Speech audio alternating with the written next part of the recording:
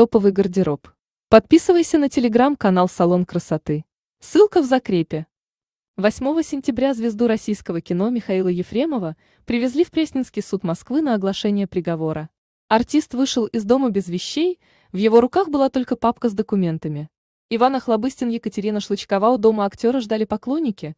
В суд его приехали поддержать Иван Охлобыстин с супругой, Гарик Сукачев и жена Софья Кругликова.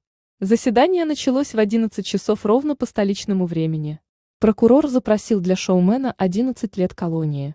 Иван Охлобыстин Екатерина Шлычкова, по словам адвоката Михаила Олеговича Эльмана Пашаева, его подзащитный не помышлял о подаче прошения о помиловании и не рассчитывает на мягкое наказание. Сам же юрист считает, что Ефремову дадут 6-8 лет колонии. Актера приехали поддержать Иван Охлобыстин, Гарик Сукачев и Софья Кругликова Екатерина Шлычкова отметим, что недавно Охлобыстин обратился к главе страны Владимиру Путину с просьбой помочь оскандалившемуся коллеге. Иван Охлобыстин с женой Екатерина Шлычкова Михаил Ефремов в суде Екатерина Шлычкова Ефремова повели в зал заседаний для вынесения приговора Екатерины Шлычкова. Топовый гардероб. Подписывайся на телеграм-канал «Салон красоты». Ссылка в закрепе.